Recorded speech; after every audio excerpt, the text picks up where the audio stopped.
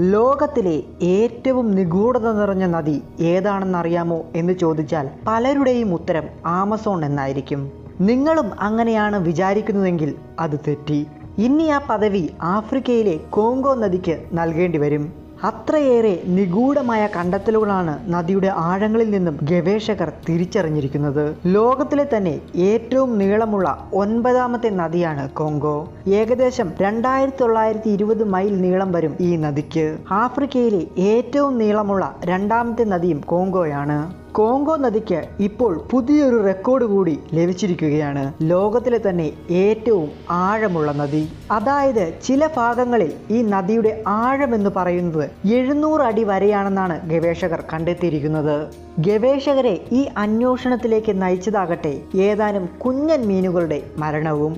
ഏതാനും വർഷങ്ങൾക്ക് മുമ്പാണ് കോങ്കോ നദിയിലെ ഒരു പ്രത്യേക തീരമേഖലകളിൽ ഒരുതരം മീനുകൾ ചത്തുപോകുന്നത് കണ്ടെത്തിയത്. ദേഹമാകെ വെളുത്ത നിറമായിരുന്നു ആ മീനുകൾക്ക്.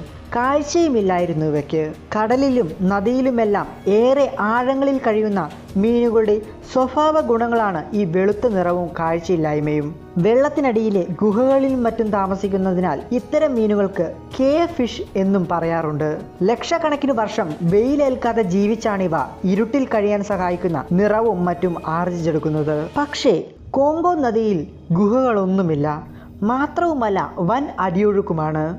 വെള്ളത്തിനടിയിൽ വെച്ചല്ല തീരത്തേക്ക് എത്തും മുമ്പാണ് മീനുകളെല്ലാം മരിച്ചതെന്ന് ഗവേഷകർ തിരിച്ചറിഞ്ഞു. അതായത് പെട്ടെന്ന് ആഴങ്ങളിൽ നിന്ന് മുകളിലേക്ക് കുതിച്ചപ്പോൾ ഉണ്ടായ മർദ്ദവ്യതിയാനം കാരണമാണ് ഇവയ്ക്ക് മരണം സംഭവിച്ചത്. ഈ പ്രശ്നം പലപ്പോഴും ആഴങ്ങളിലേക്ക് പോയി തിരികെ വരുന്ന ഡൈവർമാർക്കും സംഭവിക്കാറുണ്ട്. പെട്ടെന്ന് മുകളിലേക്ക് കുതിക്കുമ്പോൾ മർദ്ദവ്യത്യാസം കാരണം മരണം വരെ മനുഷ്യനും സംഭവിക്കാമെന്ന് സാരം. അതുതന്നെയാണ് കെ ഫിഷിനും സംഭവിച്ചിരിക്കുന്നത്. അപ്പോൾ നമ്മൾ ഒരു കാര്യം ചിന്തിക്കേണ്ടിയിരിക്കുന്നു. അത്രയേറെ ആഴമുണ്ടോ കോംഗോ നദിക്ക്? ഇത് പരിശോധിക്കാനായി ഒരു കൂട്ടം ഡൈവർമാരെ നദിക്കടിയിലേക്ക് അയച്ചു മെലാനി സ്റ്റിയാസിനി എന്ന ഗവേഷക. ഞെട്ടിക്കുന്ന വിവരങ്ങളുമായിട്ടായിരുന്നു അവർ തിരികെ എത്തിയത്. നദിക്കടിയിൽ അവർ കണ്ടത് ഒരു നിഗൂഢമായ ലോകമായിരുന്നു. ചിലയിടത്ത് വെള്ളം കുത്തനെ താഴേക്കൊഴുകുന്നു. ചിലയിടത്ത് മുകളിലേക്കും ഒരു വെള്ളച്ചാട്ടം കൊണ്ട് അതിരു വരച്ച പോലെയായിരുന്നു ചില മേഖലകൾ. പുഴയിലെ ചിലയിടത്ത് അതിശക്തമായ ചുഴികളായിരുന്നു. അതിനപ്പുറത്തേക്ക് കടക്കാൻ പോലും ആവാത്ത അവസ്ഥ.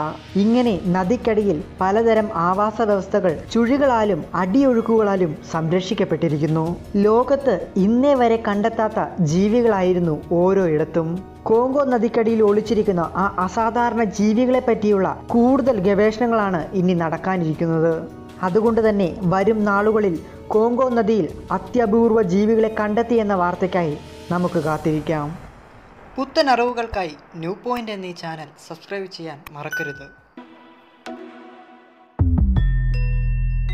Do you like new? Connect with New Point.